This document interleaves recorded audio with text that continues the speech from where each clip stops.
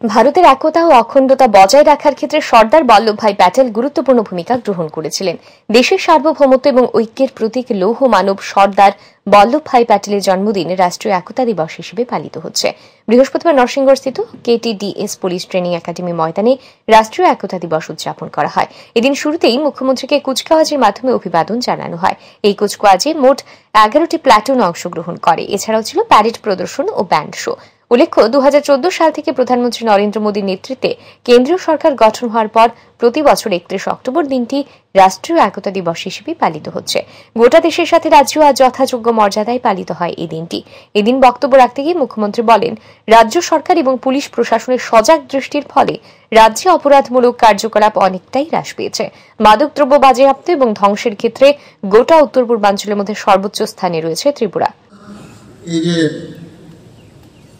মামলার যেখানে এই প্রতিরোধ ব্যবস্থার কারণে এখন কিন্তু অনেক জায়গার মধ্যে আমাদের যেমন প্রসিকিউশন রিপোর্ট ট্রাফিক জরিমানা, প্রতিরোধমূলক গ্রেপ্তার, এগুলোর মুখ্য কারণে আস্তে আস্তে করে কিন্তু অনেক মানে মানুষ তার ফল পাচ্ছে সেখানে।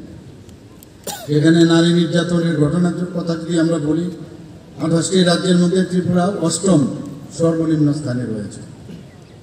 মহিলাদের অভিযোগ জানানোর জন্য সব জায়গার মধ্যে আমাদের women's help desk twenty four into seven সেটা আছে।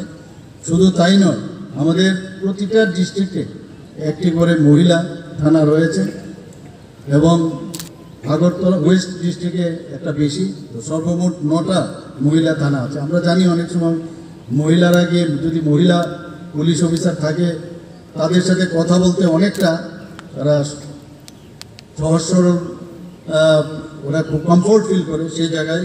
এই কারণে আমরা সমস্ত ডিস্ট্রিক্টে এবং ওয়েস্ট ডিস্ট্রিক্টে আমরা আরও বেশি করে টোটাল নটা আমরা ডিস্ট্রিক্ট মহিলা থানা করেছি। এখানে মাদক, বাজায়াপ্ত ও ধ্বংস করা, নিষিদ্ধ দ্রব্যের নিরিখে ত্রিপুরা পুলিশ উত্তর পূর্বে নর্থ ইস্টের মধ্যে এখন সর্বোচ্চ স্থানে আছে বলা যেতে পারে। মাদক সংক্রান্ত মামলা, নিবন্ধন ও গ্রেপ্তারের ক্ষেত্রে দু থেকে সালের তুলনায়।